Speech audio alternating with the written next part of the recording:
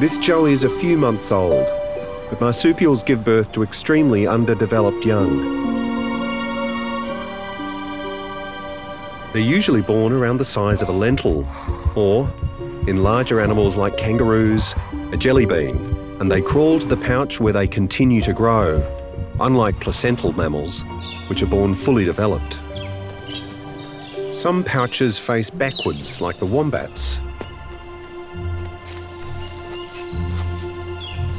These burrowing marsupials spend much of their time digging, so a backwards facing pouch ensures it doesn't fill up with earth.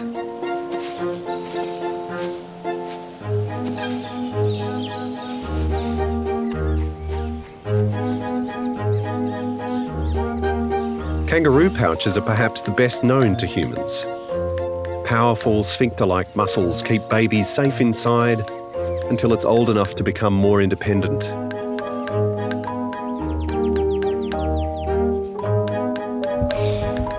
But the short period in the womb versus the relatively long time spent developing in the pouch is one of the defining characteristics of marsupials.